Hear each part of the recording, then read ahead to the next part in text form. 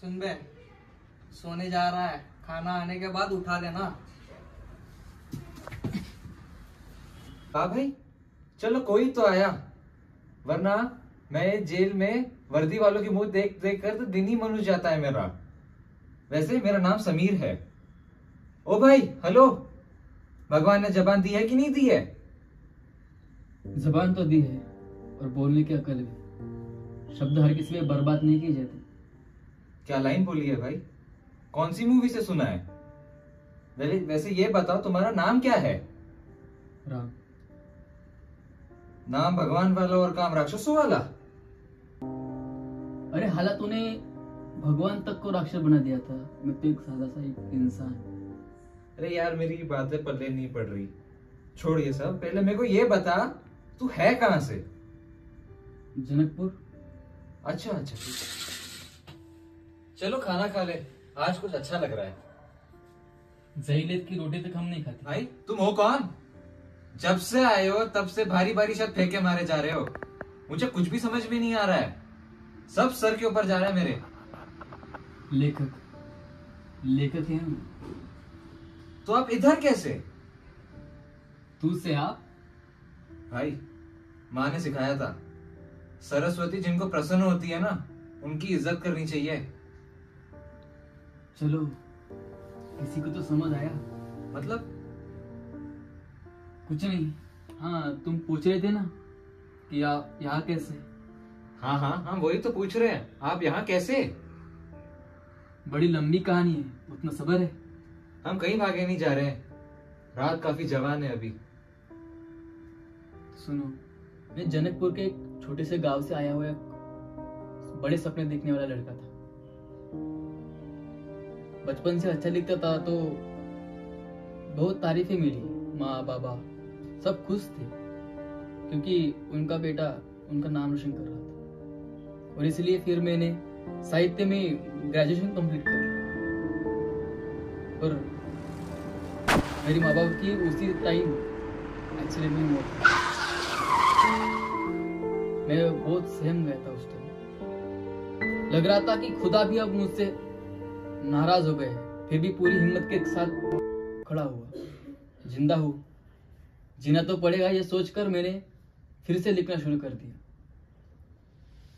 अपनी किताब अपनी काबिलियत से पूरी की। पब्लिशर के पास गया। तो इन्होंने सरस्वती तक को लक्ष्मी से खरीद रखा था। मुझसे पैसे मांगे और ना दे पाया। तो मेरी किताब किसी और के नाम पर पब्लिश करवाने की धमकी देने लगे।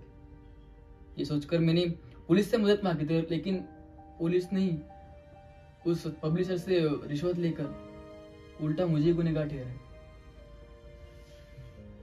अरे अरे, फिर? उसूल उसूल इंसान की ज़िंदगी के सांसों की तरह होते और उसी उसूलों की वजह से मैंने मेहनत करके पैसे जमा करना शुरू कर दिया था। कई होटलों में काम किया, कई झाड़ू पोछा लगाया, ताकि इतने पैसे जमा कर सकूँ कि मेरी किताब पब्लिश हो जाए। और मैंने इतने पैसे जमा भी कर लिए थे, पूरी जद्दोजहद लगाकर मैंने इत- इतने पैसे जमा कर लिए कि मेरी किताब पब्लिश हो तो फिर आपकी किताब पब्लिश हुई कि नहीं। पर ऐसा क्यों? मैं उस पब्लिशर के पास पहुँचा उन लोगों ने धोखे से मेरी स्क्रिप्ट चुरा ली थी। और वही स्क्रिप्ट ज़्यादा पैसे लेकर किसी और के नाम से पब्लिश कर दी। तो फिर आपने किया क्या? फिर से उसूल ने मजबूर किया। और फिर से मैं कानून के दरवाजे पर गुहार लगाने पहुँच गया। फिर भी वही हुआ। क्या फिर आपने हार मान ली थी? दिल तो एक बार हार मानी। पर जमीर जमीर कैसे हार मानी? और फिर मैंने अपनी एक लड़ाई शुरू कर दी थी। मैंने बड़े बड़े अफसरों से मिलना शुरू कर दिया था। और उसी समय मेरी मुलाकात पत्रकार निशा से हुई। बहुत सहायता की उसने मेरी। निशा ने मुझे मदद करने का भरोसा दिलाया था। उसने उस पब्लिशर के खिलाफ आर्टिकल भी जारी कर दिए थे।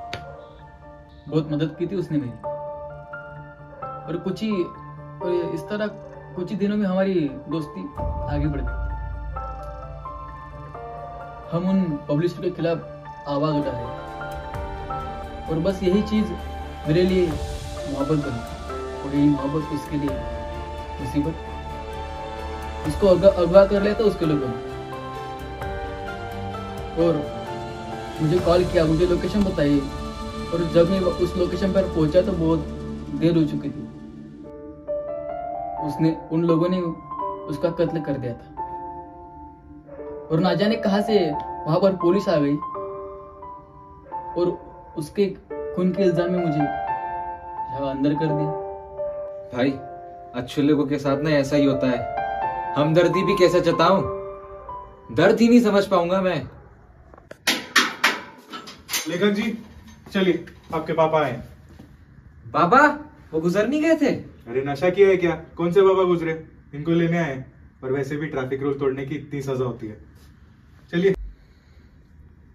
शुक्रिया समीर। किसी को बताना मत। नई किताब की कहानी थी। ए चल। आया आया।